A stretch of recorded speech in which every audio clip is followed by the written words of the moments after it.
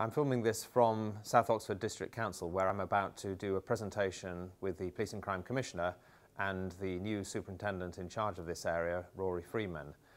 And we'll give an update on what's happened in the area over the last year. Clearly a lot of that will be dominated by the tragic events in Abingdon uh, a few weeks earlier where an individual was stabbed whilst shopping.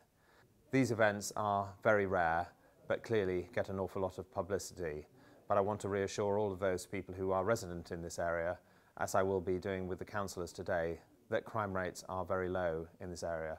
We must never be complacent, but there is some excellent work going on to protect all of the communities. Today as well, we're announcing some changes to our front counters across Thames Valley.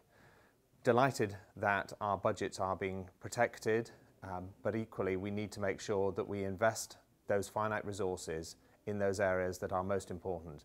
And we're having to make changes to the investment in areas like protection of vulnerable people, particularly around child abuse. And in, to do so, we need to make sure that we make savings in other areas.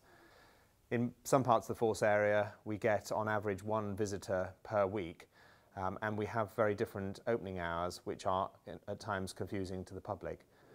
So we will be making changes and we'll be con consolidating the numbers of front counters across Thames Valley into fewer but areas where the opening hours are more consistent, which I know has also been a concern. We'll also be making some changes to the estate.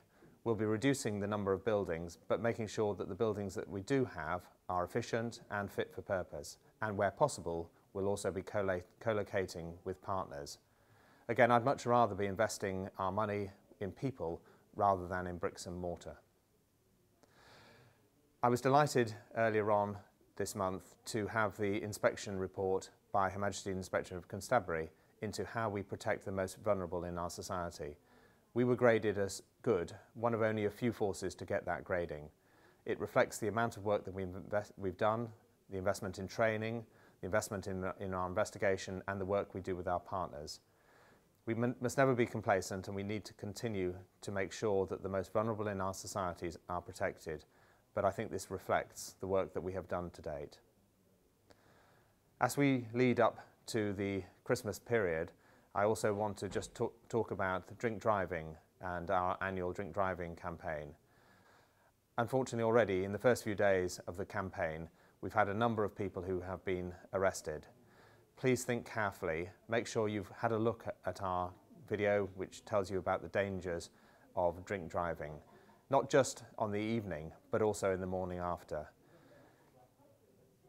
Drink driving can often have tragic consequences for so many people, and I want to avoid that at this time of year.